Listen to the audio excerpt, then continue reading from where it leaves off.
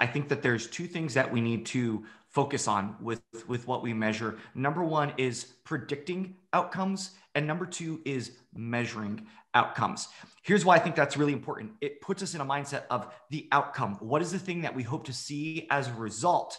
Rather than just going after a number. So often with metrics, we get in this pursuit of a score, not thinking about what's what are we actually trying to drive or what are we trying to predict. So that's my piece of advice. Look at all of your metrics and, and put them into two categories. What helps you predict your desired outcomes and what helps you measure whether or not you're achieving them.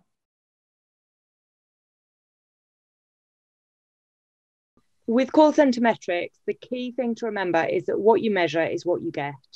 It's human nature to work to the metrics. And therefore, you need to be clear on the customer outcomes that you're looking for. If your call center metrics, contact center metrics are all about average handling time, volume of calls, that's all you're going to get.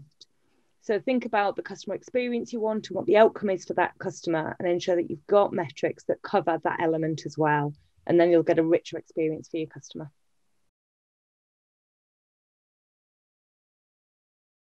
Reporting is how you build anything in a contact center environment. And what the contact center environment needs is access to those metrics, but also not just access, but to be looking at the right metrics at the right time they need to see it. And the right time is normally real time, of course, because you want to see it right there and then, but it's also historical as well. So you can work out those trends.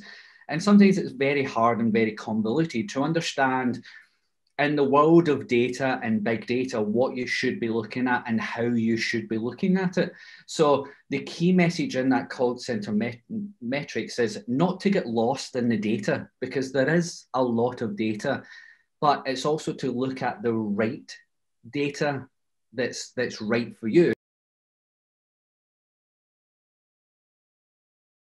We've got to get into some realism here around how the world has shifted and how our customers and our wonderful employees have shifted as well.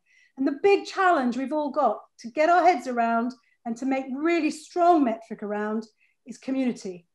And that's how we're affecting our customer community and our employee community and our business or shareholder community as well.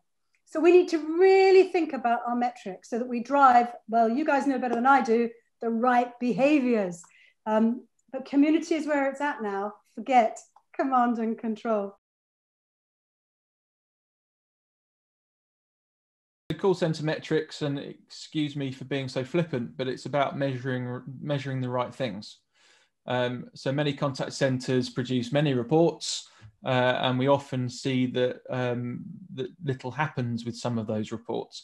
So if, if a metric doesn't drive action, actionable insight, return on effort, then I'd question why you're measuring it. Uh, an example could be AHT, for example. Um, so it's a management tool, average handle time. It's not necessarily a measure of effectiveness, however. So if you increase your AHT by 30 seconds, typically in a contact center, that would be frowned upon. However, that could leverage uh, a better customer conversation. And we have a case study where doing just that leveraged the 60 million pound return. So AHT being increased was the right thing to do.